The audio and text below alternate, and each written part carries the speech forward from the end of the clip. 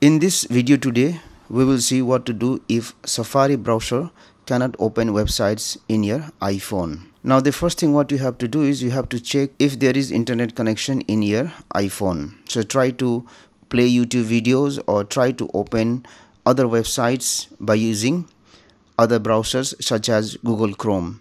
So if you see that YouTube videos can play and other browsers such as Chrome can open websites but only Safari can't then let us see how to fix it. For that one we will go to settings. We will scroll down and then we will look for Safari.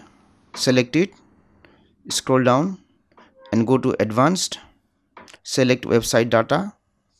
And uh, these are the websites which I have used uh, which is saved in the Safari browser memory. So I have to clear all of this website data I will select remove all website data and then select remove now.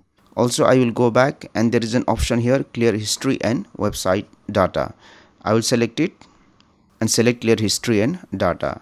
So once I do these two things I will again go back to the settings here and then I will go back to screen time. I will select content and privacy restrictions. I will select content restrictions I have to enter the passcode. So after this one I will go to website content. Right now if you see the option which I have selected is unrestricted access. That means all the websites will be open as long as it's not blocked by the ISP internet service provider.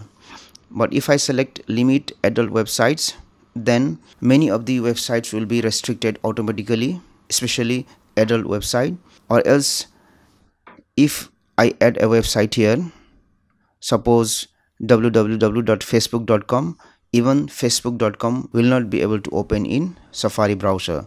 So what you have to make sure is never under this option never allow. There should not be websites here and also it should be always selected unrestricted access. So once you do these settings try to open websites in facebook in Safari browser and this time it should be able to open. Thank you for watching this video. Please like and share this video if you found it helpful. Also click on the subscribe button and hit on the bell icon to get the notification of our latest videos for free.